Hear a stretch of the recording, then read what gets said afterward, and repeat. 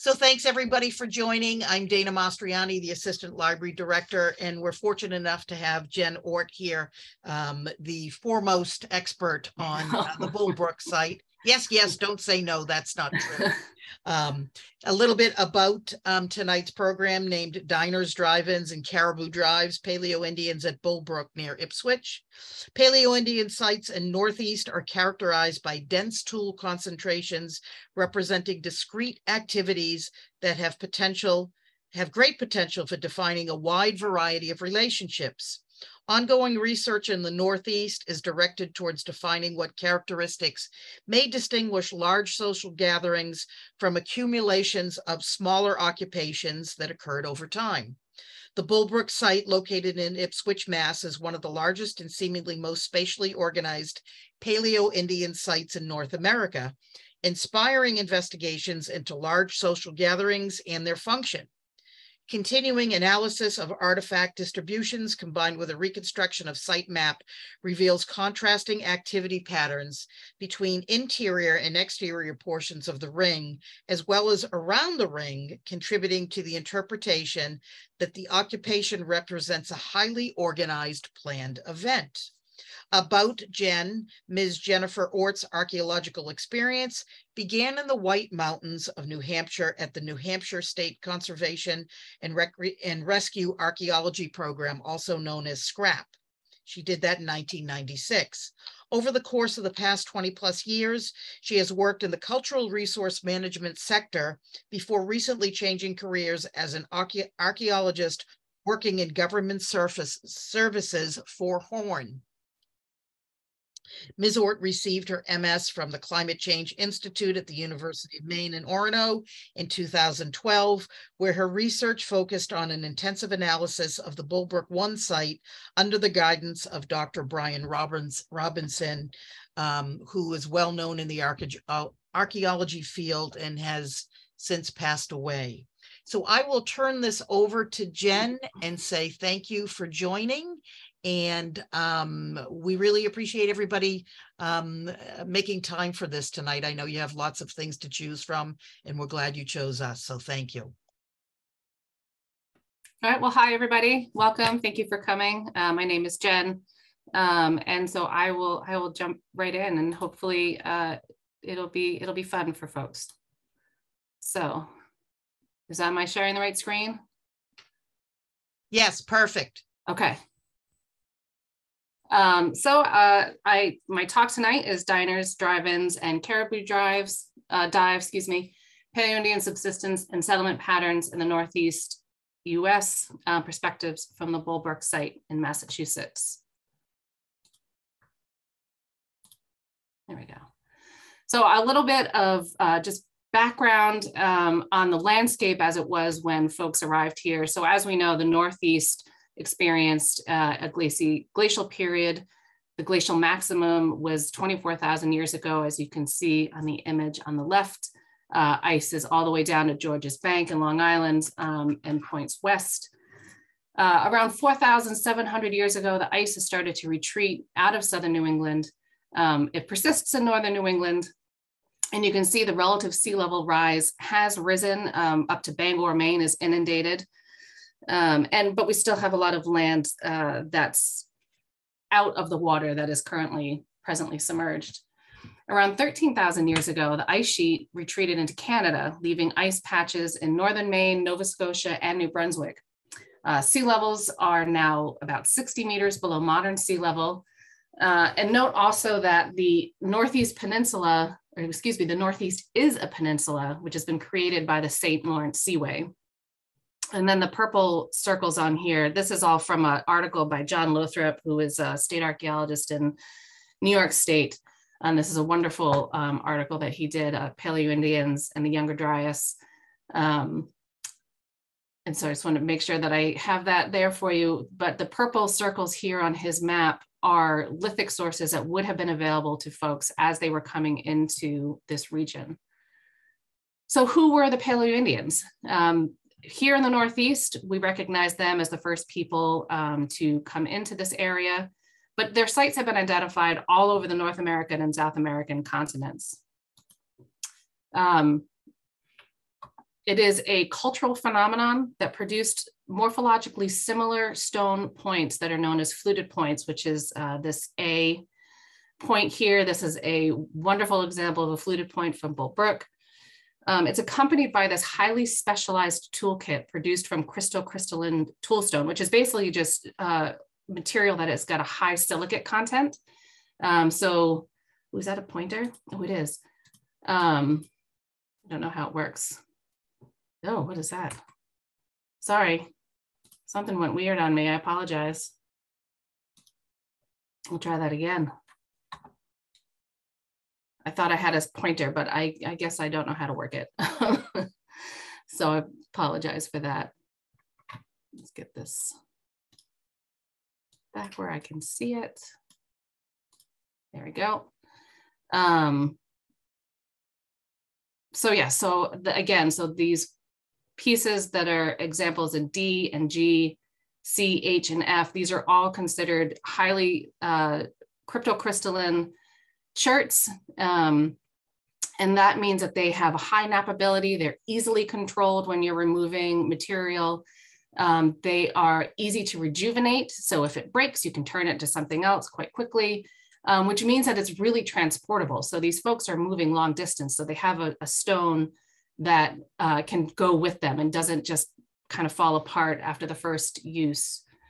Uh, Paleo-Indians were considered highly mobile because of this tool stone um, that was coming from sources in northern Maine, New Hampshire, Pennsylvania, and the Hudson Valley, um, and often comprised the lithic assemblage at any given site, suggesting a mobility range of almost 1,000 uh, square kilometers. And a well-established belief for this mobility is, as I was saying, that they required this really high quality toolstone. Um, and it's believed that this procurement is embedded uh, with a subsistence economy that's focused on migrating caribou. I don't know what that is. Uh, sorry.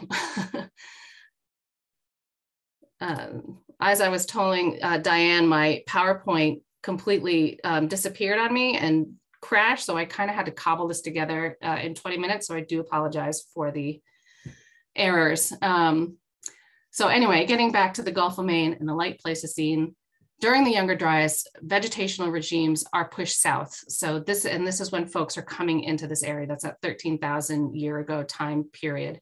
It's basically a return to near uh, um, glacial conditions. It gets very cold. Uh, the modern analog for this time period would be the Quebec Labrador region during the 19th and 20th centuries. Um, so during this time, we have two large what is happening with this? I'm so sorry. During this time, two large long distance migrating caribou herds existed and had a migratory range of over 1,000 kilometers. Smaller herds of more locally migrating mountain and forest caribou, which are subspecies, were also supported by this environment and were along the southern margins of the larger herd's migratory route. Hunter gatherers have been utilizing communal hunting strategies since before Neanderthals emerged and there are numerous ethnographic examples as well. Evidence of Paleo Indian communal hunting has been identified all over the American Southwest by large kill sites consisting of hundreds of animal bones at the base of cliffs, etc. Um, structural evidence of corrals, hunting blinds. More recently, a complex hunting structure was identified under Lake Huron and dated to about 9,000 years ago. And calcined caribou bone has been identified at many Paleo-Indian sites in the region, albeit most are small and fragmentary. So we know caribou was an important resource for Paleo Indians. We just don't know what to what extent or what other subsistence economies were practiced. And this is because organic materials just don't preserve in our acidic soils and temperate climate unless they're burned or found in a shell midden or some other extenuating circumstance that halts the decay process. A majority of prehistoric sites in the Northeast are therefore only represented by the inorganic materials that we recover, being the stone tools or the burned organics bone because of this preservation problem. So Paleo-Indian sites are typically characterized by these dense tool concentrations. Um, they may be related to activity patterning. They can be an important measure of site size, organization, duration of stay. The problem then with these large sites in which multiple loci are present is in distinguishing between locations that may re represent multiple occupations, so people coming back every season, say, um, over a long period of time, um, and or those just used once. So it's it's just they're difficult to really tease out the difference between what we're looking at. Ethnographically, aggregations of hunter-gatherer bands have been shown to differ according to duration, location, season, activities taking place, and group size. And here we have two examples um, of the Kung in Africa, and then this is um, a group in India, just showing different patterns of how people organize themselves in a landscape. And activity patterning is not rare in the Northeast. Um, many Paleo-Indian sites have reported similar um, patterning. Um, and I have just put on the Brian D. Jones site, which is recent in the past several years, as well as a tenant Swamp site in New Hampshire. Um, so recent excavations at the tenant Swamp site uh, yielded a radiocarbon date of 12,570 and 12,660 years. And the patterning within the loci, this is a very well excavated site. Um, they worked seven days a week uh, for seven weeks on this project. Um, and what we have here is basically one of the best uh, ideas of what an internal patterning on one of these loci may look like. Um, we also, again, I said the Brian D. Jones site was really very recently discovered in Connecticut. And that's a multi-component site that dated to 12,500 years ago. So not only is it the oldest dated occupied site in Connecticut, it's also the only site in the American Northeast with well-defined stratified early Paleo-Indian deposits. So the Bullbrook sites. Uh, these sites are uh, in Ipswich, Massachusetts. They're located on a relatively flat landform that's approximately 40 meters above the modern sea level. The well-known Bullbrook site is a large circular site that's comprised of 36 discrete loci and measures about three acres in size. The smaller Bullbrook 2 site is about 300 meters southwest and is comprised of seven tightly clustered loci in a linear pattern. Today, the site is surrounded by a Holocene salt marsh that was created likely around 4,000 to 2,000 years ago. The sites uh, were discovered in 1950, and I cannot talk about Bullbrook without talking about the absolute heroic efforts of the avocational archaeologists that excavated um, for about 12 years at both sites. So initially the land was acquired for sand and gravel removal in 1949 and the stripping of topsoil began shortly after. I should note that um, the landform had been used at least since the 1600s as farmland, um, and that's about the extent of disturbance prior to the sand and gravel operation taking over. So the property itself had already been known for years to have artifacts, but folks had only ever recovered uh, later archaic and woodland period materials because they were basically working within the tilled soil of the farm. And it was on November 1950 that Joe Vaccaro found uh, the first fluted point in a recently bulldozed area. The sites were excavated between 1951 and 1962 by the principal excavators, uh, William Eldridge, the four Vaccaro brothers, Joe, Nick, Frank, and Tony, Tony Orsini, and Billy's Apollo. um, I also had slides in there in my in my original version of um, Doug Byers and Doug Jordan. Doug Jordan, of course, got his PhD through Harvard in 1960, um, working on the site, and Doug Byers uh, was his dissertation advisor. Uh, even after the excavations were complete, the group continued to meet for some 30 years at Nick's house in a shed he built, um, and they called it the Paleo Club. Nick became an exceptional flint knapper and Bill, who was the principal record keeper, ended up working for the Peabody Essex Museum and convinced the group to donate their Bullbrook artifacts to the museum where the bulk of the collection remains today.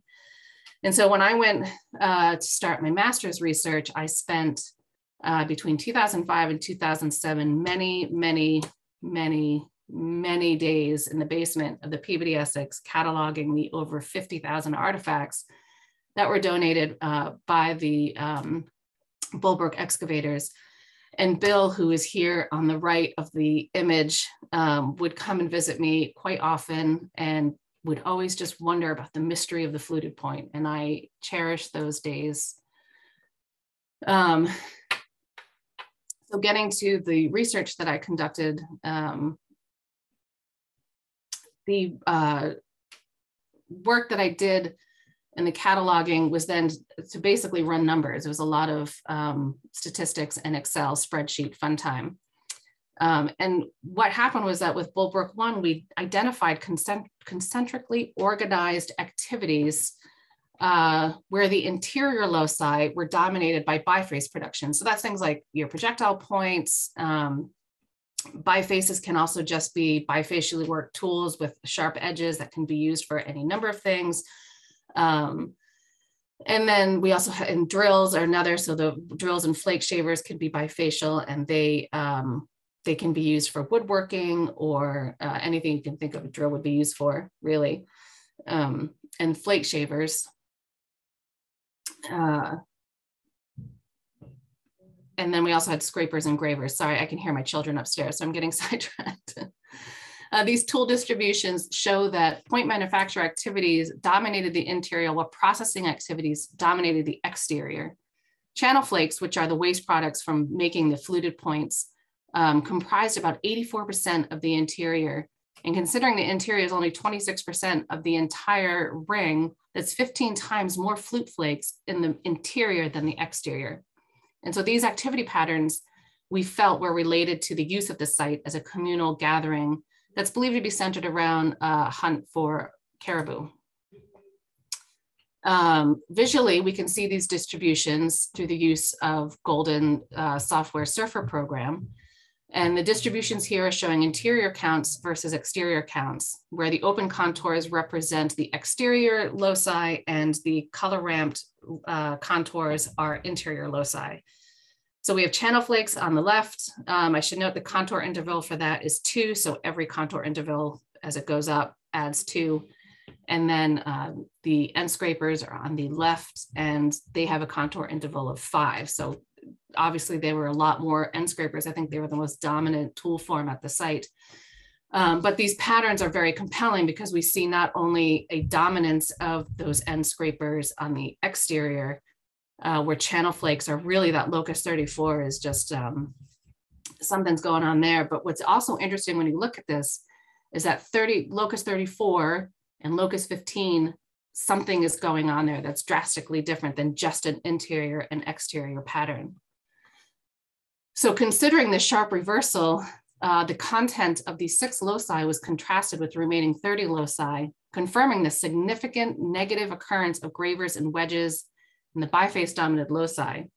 Um, reverse the inquiry to find what the actual distributions of biface group dominated and end scraper dominated loci by simply ordering the two groups by decreasing percentages of end scrapers.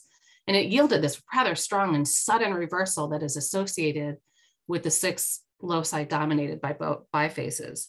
Um, the western half of the ring then appears quite different from the remaining loci. So that's that locus 15 again. Um, prior to any analysis, I think it was midnight, Brian and I were in the office and just decided that we were going to separate uh, the ring into quadrants. And we're just looking for natural breaks between um, dots, and that created uh, the A, B, C, and D. Um, we also looked at the types of material that were at the site, and we had thought that perhaps the distribution would contrast around the ring and it would represent basically different groups coming from different parts of the Northeast, um, arriving at Bullbrook from, from these locations.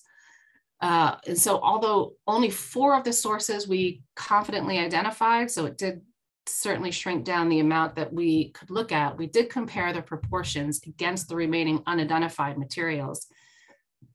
And the other category that we created um, is quite possibly Hudson Valley Chert, but it's just we couldn't really say that with confidence.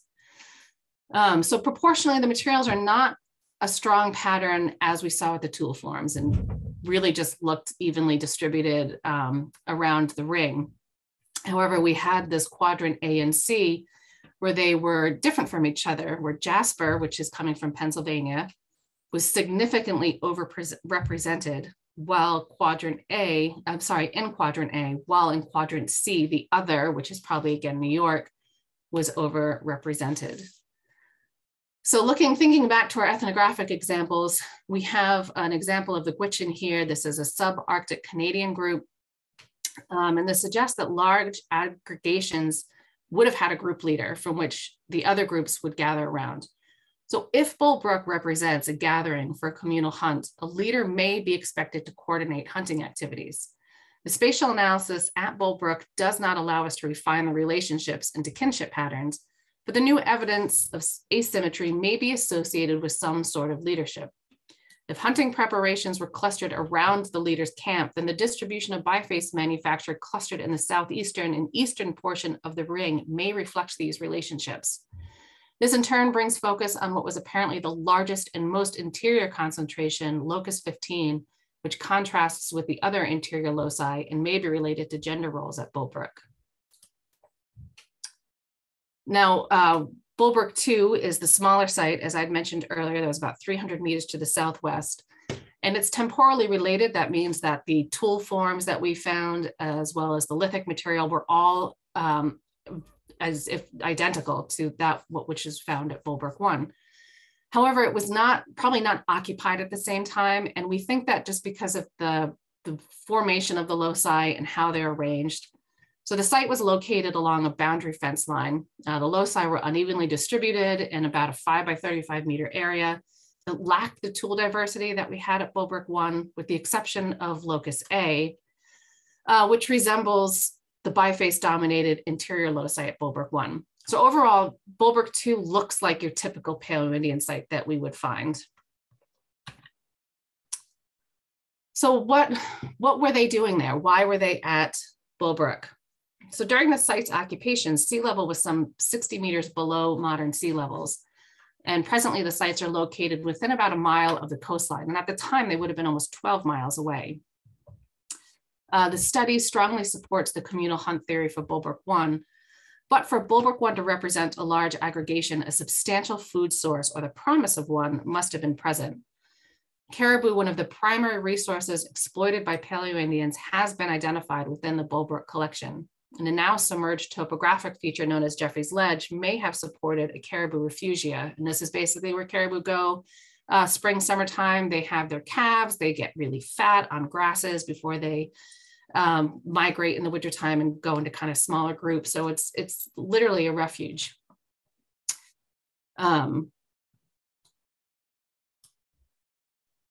suggesting the site was situated as a highly predictable intercept point as the caribou came to shore for their winter dispersals. Additionally, whether to support a large aggregation or the smaller occupations represented at Bullbrook 2, other resources must have been present for exploitation. Since the creation of the present day salt marsh occurred through Holocene sea level rise after 4,000 years ago, their take, um, the surrounding environs were likely woodland or meadowland. These environments could have supported smaller fauna, including freshwater shellfish and, and anadromous and catadromous fish, migratory birds, small game, as well as floral resources that could have been used for both subsistence and for raw material acquisition. The convenient juxtaposition of two diverse settlement types provides an essential focus of comparison between different scales of occupation. Portions of Bullbrook 2 may still be extant, and the land was actually uh, recently donated by the landowners, uh, the Connollys, graciously donated it to the Archaeological Conservancy, so that is actually now protected, and that's fantastic. Um, sorry, excuse me. so these methods were designed to further our understanding of the spatial patterning of discrete loci that make Bullbrook seemingly unique, uh, while also contributing significant new information pertaining to aggregation patterns. There is a lot of work left at Bullbrook. Um, the collection is housed at the Peabody Essex Museum, although I think it was moved to the library, and um, Bullbrook too, certainly uh, as well. Um, I have barely scratched the surface of this site, but I think that uh, the work that Brian and I did hopefully shed light on what these large sites look like and what we can expect them to look like, and perhaps what uh, we can expect in patterning. And that's that's it. Thank you, Jen. Um, Again, I apologize that uh, I, I my I lost the original, so I apologize for all of the technical difficulties in the middle there. Not, not an issue. Um, I'd like to open it up to questions that people might have.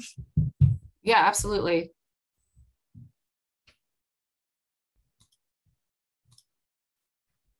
Joan, you're muted. So if you're talking, you're muted. I can talk. No. There we go. um, I was just, eh, can you go over again, you know, kind of the definition of a the a paleo Indian and is it you know, I didn't understand a lot of what you were talking I'm about. so sorry. no, no, no, no, no. It's just the science of it, you know, Yeah. is, is new. So, but so they were basically here, but tracking caribou. Um, and uh, these were, you know, central sites where they would gather at certain points. Is there evidence that they actually maintained year-round housing? Can you surmise that from your work? Um, no, and I think so. Basically, what the Paleo Indians are uh, the first folks that come into the region after the ice has left. Um, And the Okay. Paleo Indian, as a whole, the period lasts from around that, uh, you know, thirteen thousand up until about nine thousand years ago. Um, they're highly mobile, uh, so campsites are often um, they look like Bull Brook too, so you'll just have a couple loci. Um, there are larger sites. Of course, we have the Israel River Complex of northern New Hampshire, uh, the Potter site, um, sites out in uh, Lake Eudora and Park Hill, where these activity patternings have been identified. As far as long-term stays, um, I mean, we can assume these probably were, you know, maybe a couple months as they're Okay. hunting the caribou, they're processing the caribou, you know, all these things take time. You've got to kind of like um, met out the meat and the, the sinew and the cartilage and the bones and all the things that you're going to get from the caribou, the hides to the different groups. And then I'm sure people are also making and creating their uh, exchanging information and news. There's probably, um, you know, uh, mate exchanges happening, you know, all these kind of things that are going to occur. So we can assume it was probably a couple months, but I would, without actual evidence, like it's been, and that comes down to that lack of organics that we just Yeah. don't have. Um, if we have a hearth, then there's a good chance we can find burned seeds. Um, if you can find charcoal, there are uh, folks that will identify the wood and they can then identify the season, the growing season, you know, all this kind of great stuff if you have it Yeah. and oftentimes we don't and what and what happens is that our soils are so acidic it breaks organics down quite quickly um. So it's really difficult to find that stuff. And, and it has been identified at sites. And there's uh, Shawnee Minisink down in pennsylvania i think it was one of the first paleo sites that had actual like food stuff so we you know could see that they were eating more than just caribou because that's like literally the only thing we ever find. Because when it's burned the bone becomes calcined. And so it actually preserves and the burning preserves um, the organics. So without that burning we we don't have it Wow. It's, it's just amazing, really, what, what yeah have discovered. well it's, it's funny i always tell folks like when you when we do archaeology when we go to these sites um, it's the and through time and people collecting uh, by the time we get there, it's the equivalent of going to the library and taking out a book and finding that every um, every fifth page has been removed, or you have one out of every five pages, say. Yeah. And so you're only getting a part of the story, and so we're trying to um, piece together how these people lived by looking at every time there's a new site that's identified. People like get all excited because we're hoping that we can just add a little bit more to what we Yeah. know about these folks. Mm. So I don't know if that Good. answers. Well- Sorry, I go on well, thank tangent. you. so I No, no, apologize. no. Reel me back in if I do.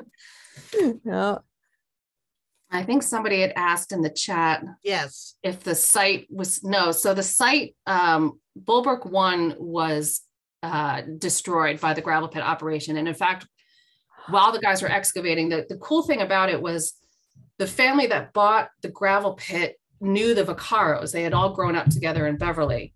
And so um, because they had this relationship and uh, the, the Bull Brook boys and themselves were already, they were collecting in fields and stuff like that. So they were they were a known quantity um, as well. Um, so when they heard the gravel pit was starting, they asked if they could come and just kind of like look around and see what they could see. Because again, it had always been known to have stuff out there.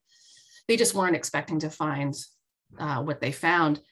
And so um, they had worked out this kind of deal where the, the gravel operation wouldn't come and dig until they had kind of like cleared it. And so the guys would go in and they would start to dig. And if they found something, they would start to dig out and they would dig and continue to dig until they stopped finding stuff. So the negative spaces between the loci and the center of the ring, all that negative space we know is negative space because of how they excavated the site. And then once they had kind of cleared it, the gravel folks would come in behind them and then, you know, essentially take it out. So there's nothing left of Bull Brook one. I've been out there relatively recently and yeah, it's gone. um, but Bull Brook two, the um, that was on the fence line. That is, I would say, about 98% destroyed. But again, the land, uh, it's it's still private land. Um, part of it, but there was a part that was owned by another family that owned it while the guys were digging, and um, they knew they knew her. Her son uh, recently donated it to the conservancy, and so they they protect and conserve it. I think for like a hundred years, so it's now protected, which is fantastic news. So can I jump in and ask a question about the the digging and what have yeah. you?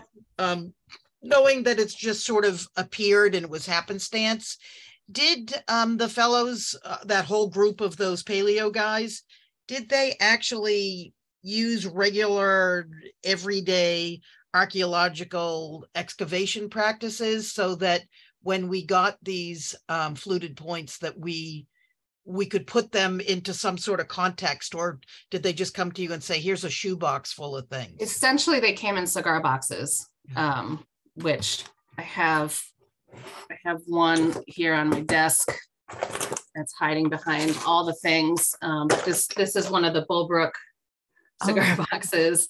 Um, and that was essentially how uh, the stuff came in. So we, one of the things that we don't have, which was so great about the Tenant Swamp site is we don't have the horizontal other than the locus itself and the size of the locus and how they, you know, they would find something and kind of like radiate out from it until they found nothing. That's about all we have for context control. So we don't know within that circle where artifacts we were found. And the only um, evidence we have of the depth was just in talking with Bill, um, who had said that, you know, they would dig and they would find all the kind of younger stuff, so the archaic and the woodland period, which is the, the later kind of um, iterations of, of, native groups in the region, um, would be up high. And then they'd have about like a 20, 20 centimeter gap of like finding nothing. And then they would start finding the, the Paleo Indian stuff. So that's, that's literally all I have for context. Um, because, but at the same time, you know, we, they were excavating in a manner that um, Arctic archaeologists were excavating at the time in the 50s. So it's not like they weren't just kind of, they didn't have a plan, um, but there's, so there's certainly things that were missing. But the amount of work that they did do, the notes they took, the photographs they took, Brian Robinson recreated uh, the ring and the spatial patterning and the size of it literally by going through photograph by photograph, identifying trees. Here it is in this picture, here it is in this picture. I know the focal point of the camera. I know where they were standing, taking measurements. I mean, I'd come in to the office at like eight o'clock at night and he would have stereoscope glasses and wow. looking at pictures, trying to line up trees um, he had all these complex measurements, like uh, Doug Jordan and I think um, Nick Vaccaro had both taken panoramics on a video camera. So Brian like tracked down the make, the model, the focal point, all these things to determine where landmarks were because they had named the loci according to landmarks. It was Doug Jordan that gave them the numerical numbers prior to that, it was like the lone pile, the pine tree, um, the lunch spot, Joe's bones. I mean, Frank's bones. Sorry, it was like Frank's bones. Um, just you know, how we actually uh, name a lot of sites today. You're like, oh, I'm near a dead tree. It's the dead tree site. Like we're not very creative when we when we name things. So it was um, essentially stuff like that. And so Brian was trying to identify, okay, well, where was the big pine? Where was the lone pile? And it took him several years to really, it wasn't, I mean, he was just about done with it by the time I came into the program and um, had really nailed down what the ring was. And it was about a, a 60% scale error, I believe, uh, between what Doug Jordan had published and what, what it actually turned out to be. So it really was a heroic effort of all those guys involved that really a- anything that Brian and I have done since could not have been done without the amount of work that they did and put into it. I mean, they were out there on weekends, they were out there on vacations. You know, I was looking through pictures earlier today of of uh, Bill and I think um, Joe, and it's like you're looking at excavation photos and then a vacation photo, a beach photo. They had a lobster lobster party. Uh, was it Joe was the lobsterman, I think, and like so they had there's like pictures in someone's basement and they're having a big you know lobster boil and so it just really like humanizes the whole thing. If you know, um, these were this is just what they like to do. It was what they did on the weekends, and they spent 12 years working wow. at those sites and preserving them and um, and then you know thanks to bill's efforts in the 80s getting them to all donate it to the museum so uh sorry big shout out I, I have a lot of respect for them so i can apologize if i go on a tangent no it's a great hearing all of this um, i i appreciate it other questions I get a couple of others uh, seeing that nobody yeah. else is jumping in. Um, can you go back to the slide um, that describes the situation that you were talking about the um, the relationship of the people potentially at that group? Um, uh, I don't think yeah. I understand what what was getting conveyed in that slide. Um, the one with the Gwich'in. Yes, I yeah. think that's the one. Yeah, yeah. Okay. Um, if you bring it up, I'll be able to yeah, yeah.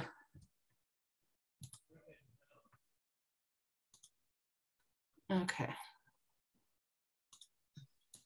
Sorry, again, I have too many, too many monitors. No worries. Um, what screen is it? This one. Okay, but I wanted to get to that one. Come on, go up. This one. Can you see it? re-explain uh, uh, what you were saying here because I think I got lost. Yeah, no, of course. Um, so the the graphic on the left is from uh, Slobodin, who was an ethnographic anthropologist um, and studied this group in in subarctic Canada. So it would be kind of the most uh, um, not contemporaneous, but uh, equivalent, I guess, a modern analog to uh, Paleo Indians and how they might um, you know, live on a landscape. And so one of the things that we were looking at, what fascinated about this, and I think when Brian and I first originally were looking at it, we were looking at those circles four and thinking like, oh, that could be Bull Brook too. Like, oh, they're off to the side, you know. Um, but really, it comes down to this this organization of how uh, they're grouped around the campfire. Um, in this sense, this would be one locus, certainly, which again, we I don't have this level of detail. We just have the locus themselves, not not within the locus.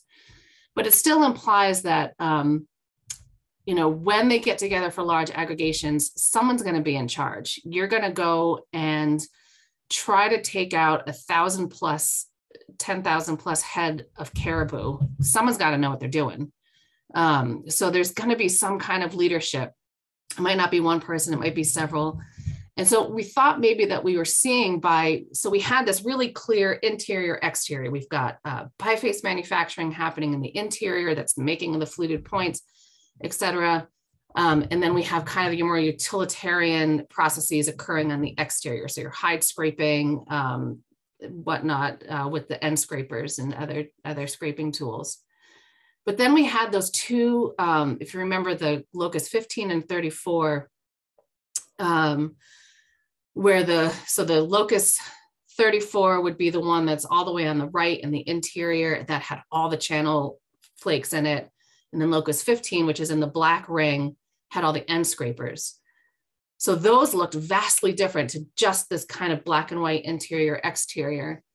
And so what we thought was that perhaps this had some patterning as to how not only are we we having just activities being separated by interior and exterior, but also perhaps this indicates that there's whomever is in charge, like they're all kind of hanging out there and getting their tools ready, right? They're they're essentially sharpening their knives and uh, getting ready to go and hunt these um, these caribou. And the other thing to think of too is that this would have been a group effort as a whole. So not only do you, are you, we think what they were trying to do is basically corral the caribou as they're coming off Jeffrey's Ledge and corral them that 12 miles into Bull Brook. And you would need everybody on deck for that. So the women, the children, the elderly, everybody is going to be out and the, the, um, you might have folks at higher elevations that are kind of making sounds and banging things to scare the caribou. And so you're basically leading them to where you want them to be. And then the kill site could potentially be closer to the site itself. Cause I, I like to think of it as like when you go to the grocery store, you're not going to park, you know, eight miles away and then drag your groceries to your car. You're going to try to get as close to your car as you can. So I'm assuming they're going to want to do the same with 10,000 caribou and kind of drive them towards the site. And all of that needs to be organized and somebody has to, or several people have to kind of lead that to ensure that it goes off um, well. And so we thought maybe, so looking at this kind of modern analog of the Gwich'in and how they had organized around a leader, was that something that we could perhaps say about the organization at Bull Brook? Again, we don't have the um, amount of detail to really tease out all of that. It was just one of those kind of compelling things to be like, huh, I don't know, could be, maybe um, and just something to think about you know when we look at other sites as they're excavated today like Tenant Swamp and the Brian D. Jones site. Um, I don't think they looked at this stuff per se, but those certainly have the context control that would help address these kind of questions or answer them, perhaps. Thank you. That gives me a much richer understanding Yeah, of what. sure. So we're trying to use a modern analog and superimpose it and see if it Mhm. fits, if the data suggests that it's a similar thing. Right. And that the earlier ethnographic examples were a similar kind of look at okay, well, how do hunter gatherers today organize themselves on a landscape? And it depends on what they're doing. You know, is it a seasonal camp? Is it just a family nuclear camp? Or are they coming together to do something as a group that the whole group is needed to accomplish? Yeah. Understood. Yeah, thank you. Yeah. Other questions? Yeah. Um, are you saying that, you know, when they got together like this, that they were killing up to ten thousand caribou? I mean, I don't think, I mean, they probably weren't killing the whole herd, but you know, Oh. depending on how many people would have been there, you know, you'd, you'd want to get enough to take care of everyone. You've got to get Yeah. your, your hides for the winter. Caribou fur has, is a unique, um, the fur itself has a hole in it, like each individual hair. And that apparently is ideal for warmth, like the, the way the caribou fur is, is, um, and so that just it's ideal for like everything hides tents clothing um and then of course all the other parts the meat the sinew the bone uh the fat everything so i, I mean you won't you don't want to like burn your whole grocery store down in one one go but Yeah, yeah. you know you want to get enough to get you through the winter or until you come across your smaller herd yeah. um, Do you have any idea, you know, um, about how many people gathered in these spaces? I mean, is there ever any evidence that would point you in that direction? Um, I mean, if we're assuming, and it's again, assume is a- it's a big word and we use it a lot because we, we really just don't know. But going on the idea that like it's probably nuclear family or extended nuclear family, um, and each individual band uh, coming together. And I think too, the other thing is that the the the, the thing that always kind of blows my mind about Bull Brook is that it had to have been known about and whether that's what bull brook 2 served as a kind of scout point of like somebody came there the year before and was like, I found the best spot for next year's hunt. Because you got to think that these mm. things were happening. Bull Brook cannot be the only one. It's just the only one we have found. Yeah. And I suspect a lot of that is because it's under Boston, it's under Providence, it's under a very thickly settled, highly developed region of North America that we probably just don't know anymore because they're gone. You know, they're under 95. but as far as numbers, like, yeah, I don't, I, I think you can assume an extended nuclear group, maybe for each locus. I mean, they're about seven meters in diameter, 15 meters in diameter. So yeah, you're not going to get, you'll get like a handful of people in those. Mm. But I've never run crunch numbers to figure out counts. Okay. Great questions. Mm. Other people with questions? I'll jump in. Um, can you go back to the slide that had the um, the fluted points? Um, um, yeah, it was pretty early on. I yeah, think. yeah. I'm just trying to figure if it's faster to just get out of it and go to it. Yeah.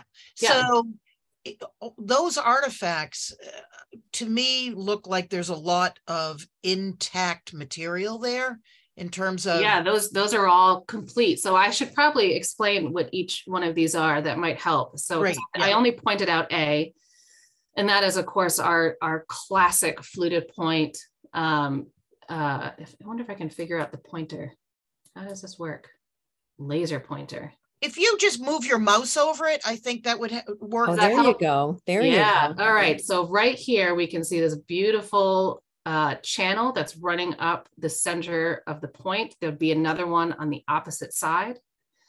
Um, the other thing is we have this little notch here on the left. That's probably the haft element. So that's what would have been hafted to um, a spear point. Hmm. Uh, and these are, uh, there's characteristics. You can actually see there's the other one here on the right side. Um, and it's believed that, that that flute is literally just as a hafting element. So it sits on the spear. Um, up here, this uh, F, this is a uh, flake shaver. So I like to think of these as woodworking tools. Um, there are a lot of these in the collection and some of them had these kind of flat backs some of them were ridge backed and my dad was a woodworker so i always like to think of them as like your your heavy handed chisels and your your finer chisels you know your finer woodworking tools um, but we believe that's what these would have been used for uh, this is just a giant biface. And so this is probably how material is being transported because a biface is literally your Swiss Army knife. You can use it for just about everything. Um, and you can transport material with it and then you can knock flakes off and make other things with it eventually turn it into a fluted point when the fluted point breaks um, there's a lot of end scrapers that are made on the bases of fluted points because once it broke they would just you know which is this is an end scraper here, this D. We call this the jade scraper because it's so pretty. Um, but we see a lot of broken fluted points that have been rejuvenated into end scrapers, and this would have been your, your hide scraper, although these are smaller. So these would probably be, again, your more finer work. We've got uh, big side scrapers that look like this as well, that are probably for your kind of heavier initial removing of, of things. Um, this here, this is a graver. This is made from jasper that's from Pennsylvania that's been burned, which is why it's red. And it's this little point here. So there, we think those are like awls. So like a little piercing tool if you're making holes in clothing or um, decorating uh, a bone or wood implement. Um, this here C is what we call a wedge or pièce esquillée. Uh, and these are just splitters. It's it's literally like a wedge that you would use today. And so they're battered, um, sometimes all four sides, usually uh, the two sides from this kind of bipolar, like you've stuck it in something and then you're hammering the other side to split, you know, maybe a, a bone to get into cartilage. Um, these are the twist drills here. Hmm. Uh, and they have this distinctive S twist on the end and some of my favorite photographs was Bill Eldridge would take his own drill bits and compare them to these, and they were identical in that S twist. So the drill itself has not changed in 13,000 years. Um, and then down here, B, these are two examples of channel flakes. So these are very distinctive types of flakes. Uh, this is this is essentially what's removed to create this channel on the point. And when we find these at a site, we know we're like, oh, yep, okay, paleo, we know where we're at. So the, they're very identifiable um, types of flakes. And these are both, this one's broken. Uh, this one looks complete, um, but they're they're very identifiable artifacts. So those are those are the most identifiable artifacts that we had at the site. These these are all the groups that we used for the analysis. So a couple of questions. Um, thank you for explaining all those. Yeah, of course. Um, the fact that they are intact, can we make any inferences other than it's not been disturbed, greatly disturbed? yeah, Um, these were at these were at depth. So these um, from again what had Bill had explained. Say we had um, on the top layer, so about the upper 20 centimeters, and I apologize, I'm bad with imperial measurements because archaeology is all done in metric, but the upper 20 centimeters would have been your, your plow zone. So that would have been the, the part of the landscape that had been continuously plowed from the 1600s up until it was purchased by the sand and gravel pit. So that, that level of disturbance up there only goes about 20 centimeters deep. And that's where they were finding all, again, all the kind of earlier native stuff is kind of intermixed in that plow zone with historic artifacts. And then he had said that they um, they would get a gap, they would get a negative um, levels where they were finding no artifacts as they went down, and then they would find stuff Oh, at depth. So uh, it, it implies then that the materials were protected, not only from modern or sorry, historic use of the landscape for farming, um, but you know, really the only way it was found was because of that gravel pit. So it would have been not deeply buried like the Brian Jones site, but certainly um, at depth. And that's just time. Um, it's also would have that landform itself was, uh, I believe, a delta um, like a, it's a classic Gilbert Delta, so it's it's waterlain deposits. Uh, it's relatively medium core sand, so they may have been higher up in the soil horizon, but they over time, over you know twelve thousand years, they've kind of shifted and drifted down. Every time it frosts, every time a worm moves through, every time a tree grows a root, it's shifting grains of soil and sand around, and it's moving things down. You know, and the when folks, I'm from Rhode Island, and when first folks historically first settled there, the uh, colonists would joke that the only thing they farmed were rocks because every year they'd come up to the surface. So it's things are moving up and down by just natural um, processes. So it's probably one of those things where it's you know it's been buried over time as soil develops, but it's also being shifting. So there's a lot of different interactions occurring, and it was so it was just lucky that they were. it was undisturbed for that long and lucky that those guys knew to go out and look and lucky that they um, were avid avocationalists who had been new. I mean, I think what Bill had said when they were out there, both the Clovis and the Folsom site had only been discovered about 30 years before they found Bull Brook. So it was still a really new um, time period that hadn't really been known about, but they they knew, I mean, they were reading the material, so they knew about those sites. And so they knew as soon as they saw that fluted point, they knew what they had. Um, and I believe it was 1954, they published the first article in the uh, Mass Archaeological Society Bulletin. How do we know that this site wasn't just a site for them to get ready for the um, um, the um, the killing of the the animals, knowing that there's um, distinct areas where there's lots of flaking and and retooling. So, you know, how how do we know that it wasn't a place where th- this is a tool manufacturing site? Mhm. Um, I think just because of the, the nature of Paleoindian sites in themselves, they're so um, uh, like they're rare. When you find them, they're they're small. Um, it's usually you can you can hold the amount of artifacts in your hands that signifies a Paleo-Indian site, um, or they're just like one locus. So these larger sites are extremely rare, and so um, that in itself, just the the size, the amount of artifacts that were recovered, um, it, implies that this is more than just uh, like we're just going to prep for a hunt. And then I think too, like if the surmising, I have no evidence based on it. I'm just making assumptions that the kill site is going to be nearby. then you might just be you, you're going to hang out after the fact too and just kind of you know maybe prep for winter because we we think that it would have been a fall hunt because you you want to get those caribou after they've fattened themselves up for the summer mm-hmm. you know they've been out there eating grasses all summer long so you want to get them as they're coming in because that's when they're going to be the healthiest and the fattest um, and that's where you're to that's when you want them so we we think that they were there in the fall it's possible they stayed through the winter. Again, we don't, we just don't have the seasonality data to make those kind of um, decisions about longevity of stay or whatnot. But we can, I think, make some educated guesses that it was a, a they were there prepping for the hunt and they were there after the hunt. And then where they went after, we don't know the material that you said that came from Pennsylvania, mm-hmm. um, has that actually had uh, like a geochemical analysis so that they know with certainty that that's where it's from and compared it to that in Pennsylvania, or is it just it looks like Pennsylvania? So they it looks like Pennsylvania, and um, the let's see if this will there we go. The um, one of the uh, one of my committee members was a lithic uh, specialist.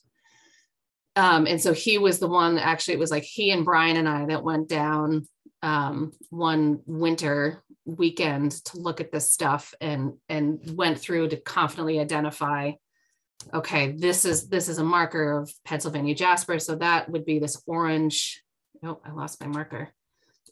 This orange material here is is um, classic Pennsylvania jasper. It's got the uh, ooids in it um, it's got a lot of oh, it's been so long since my brain had to think about lithic things, but it's it's it's got all the hallmarks of of the jasper.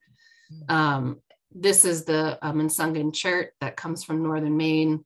Um, this is also Munsungun chert, so you can see there's even variations within a single source. Uh, same thing here. This is Hudson Valley chert. Uh, the emerald, uh, the jade scraper is also from the Hudson Valley. Um, so again, variation within a source. Um, we have local uh, Massachusetts rhyolites um, here and here, and then we believe this is uh, New Hampshire rhyolite. Mm-hmm. Um, so each one of these has very uh, identifiable characteristics that we can say with certainty that these are coming from such and such a site. And uh, but these are again, these are done through. We didn't do any geochemical analyses. It was literally we had a comparative collection and we that said, okay, we know that these pieces are from here. So anything that looks like this, we can attribute to that source. Got it. Um, Thank you. It's yeah. amazing how much work you've done, plus the people before you as those avocational archaeologists. I got really excited about Radiolarian when I got into the the Munsungun chert, particularly has really fascinating, which are just the little fossils. So like chert is a sedimentary yeah. um, rock essentially, and it has these little fossils, and you can see them um, with a like a, just a jeweler's loupe. And I got really really into that. Excited about that. Yeah. Other questions since I've been monopolizing.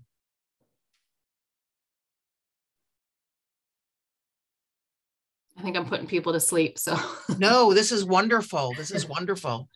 Um, well, I could go on for ages, um, but I'm also respectful of your time and everybody else's. But um, this has been absolutely fascinating, and to think it's right in our backyard or was in our backyard. Um, and much like you think, what if those fellows hadn't gone out digging mm-hmm. and doing what they were doing? And if they weren't as enthusiastic as they were, if it were an average person, they probably would have said, oh, what the heck? right? Yeah. And let the um, let the um, gravel pit um, just go. But um, this has been phenomenal, and okay. I, for one, are very um, thankful for tonight's meeting and thanking you. Yeah, no, it was my pleasure, and I I believe um, I know Andover Museum has uh, materials on display um, and I, I think the Peabody Essex did a display. I'm just not sure where it is, but I know Karen Kramer had put something together. Um, so I, they, they are, there are some of the pieces are available to see in a museum setting, mm-hmm. um, Andover for sure. Yeah. Good to know. Well, thank you, everybody. Special thanks to you, Jen, for making our evenings tonight. And I will wish everybody a nice warm evening and um, um, thank you so much. Look for the recording on our YouTube channel within the next week or so. Again, tipping my hat to you. Thank you so much, Jen, and good night to everyone. My everybody. pleasure. Thanks you. Thanks everyone Thank for you. coming. Good night now. Good night.